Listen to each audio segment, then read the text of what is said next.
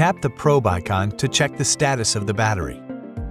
Before the first use, setting some user-defined preferences will make the app's operation more convenient.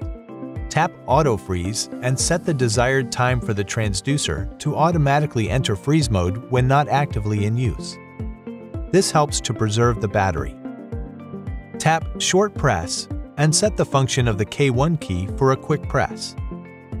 Tap Long Press and set the function for a long press.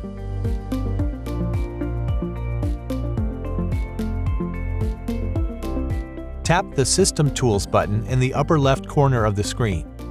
Tap Setup Image. Display TIB, TIC, and TIS according to user preference.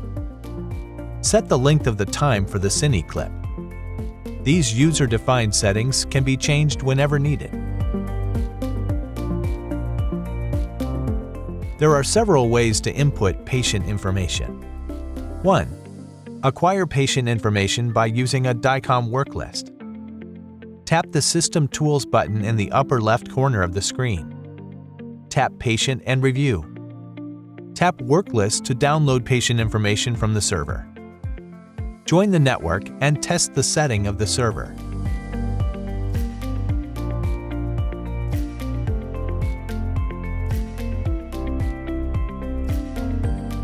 Select the patient from the querying list.